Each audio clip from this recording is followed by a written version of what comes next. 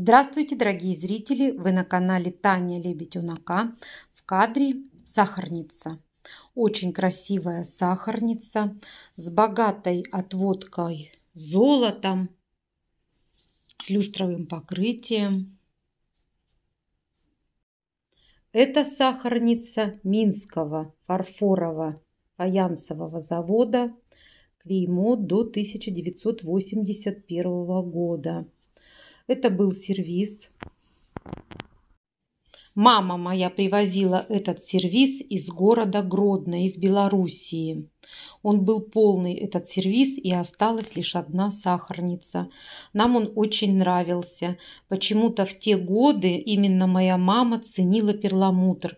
Она говорила, сервис перламутровый. И сегодня мы с вами посмотрим новиночку Алены из Минусинска. Она приобрела сервис Минского фарфорово-фаянсового завода. А в кадре сложившаяся небольшая коллекция статуэток. Они все практически современные. Это статуэтки по профессиям. Вы видите в кадре бычка. Это такой гусь акушер-гинеколог. Смотрите, он хочет исследовать яйцо. У него в руках стетоскоп, и он прицельно изучает это яйцо. Наверное, хочет посмотреть, цыпленок будет женского рода или мужского. Вот этого бычка доктора я покупала в год быка. Посмотрите, какой славный доктор. Ну, а вчера мне подарили двух славных гусиков. Это такая эксклюзивная коллекция. Ее выпускали предположительно итальянцы, как мне сказали. Ну, в остатках еще два экземпляра. Это полицейский и это такой вот музыкант. Посмотрите, какая славная формируется у меня коллекция. Балерины – это тоже профессия. Это старенькая статуэточка Косли. Кто-то говорит Касли, кто-то Косли. Я думаю, не принципиально, потому что можно говорить так и так. Балерины в кадре.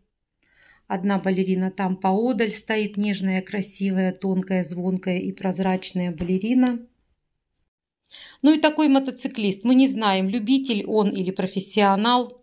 Будем считать, что профессионал. Бутылочка вина в подарок. Буду собирать вино. Посмотрите, какая медаль. Написано Крым.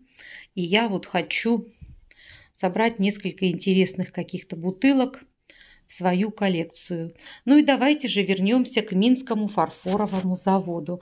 Сначала мы посмотрим обзор сервиза Алены. Добрый вечер! Приветствую всех любителей советского фарфора. Сегодня я делюсь с вами радостью от приобретения чайного сервиза Минского фарфорового завода. Вот посмотрите на клеймо красного цвета и знак качества. Сервиз белоснежного цвета и украшен вот таким прекрасным орнаментом в сдержанной цветовой гамме бежевато-зеленоватых оттенков. Дополнено, конечно, золотом. Вы знаете, я очень довольна приобретением. Я уже пробовала заваривать чай в этом замечательном заварочном чайнике. И могу сказать, что это очень удобно.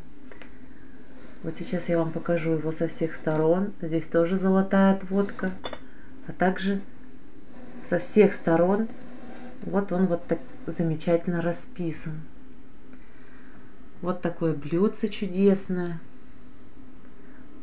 Все это украшено ручной росписью.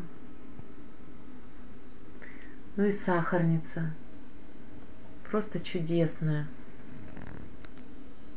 которая тоже со всех сторон украшена белорусскими народными мотивами.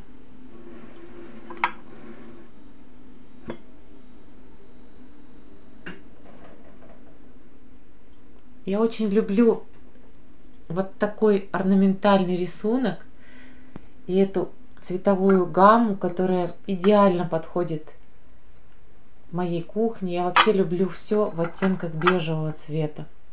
В этот сервис входило 6 чайных пар, чайник и сахарница. Уважаемые подписчики, поделитесь, у кого тоже дома есть изделие Минского фарфорового завода. Это очень интересно мне будет послушать, потому что я лично очень рада и довольна. Всем спасибо за внимание. До новых встреч. Мы видим с вами клеймо Минского фарфоро-фаянсового завода по годам, а также статуэтки «Жалейка», автор Пермяк. Кофейный сервис «Золотая осень», 70-е 80-е годы. Тарелка настенная «Зимний пейзаж», 1995 год большой завар... заварной чайник 60-е годы. Скульптура «Девушка, собирающая грибы» 57-65 год, фаянс, роспись. Скульптура «Царевна лягушка» 68-83 год, Ковришкин. Скульптура «Медведи» 51-61 год. Огромное спасибо Алене за ее ролик. Девочка и гусь. Совы, ваза совы. Кто видел такую прелесть? Если у кого-то есть, обязательно пишите. И напишите, если кто-то знает, как называется Аленин сервис. Часто меня спрашивают об этом каталоге. Смотрите, каталог «Советский коллекционный фарфор». Вот так он выглядит. Санкт-Петербург, 2019 год. То есть это современное издание, его можно заказать. Основан этот завод в 1883 году предпринимателем по фамилии Поляк. Производились декоративные изразцы и бытовые керамические изделия. Во время Великой Отечественной войны завод же был под оккупацией, и после войны его пришлось восстанавливать, этот завод – с 1951 года он стал называться Минский фарфорово-фаянсовый завод. Посмотрим каталог. Статуэтки довольно редкие и очень-очень дорогие. Обратите внимание на цену в долларах. Я не встречала в наших антикварных лавках подобные статуэтки. Это редкость, и купить их очень непросто я встречала лишь вот эту снегурочку. Как раз вчера в магазине Густа я увидела сахарницу Минского фарфоро-фаянсового завода. Она была без крышечки. В самом конце ролика я сделаю небольшое включение из этого магазина, и вы посмотрите. Дорогие зрители, пишите ваши комментарии, есть ли у кого-то дома фарфор Минского завода. Будет очень-очень интересно. Если кто-то знает, как называется сервис Алены, то тоже, пожалуйста, напишите. До встречи, пока-пока. Ну и вот та самая сахарница из комиссионного. В такой же форме, как моя дома. Пока-пока. До встречи.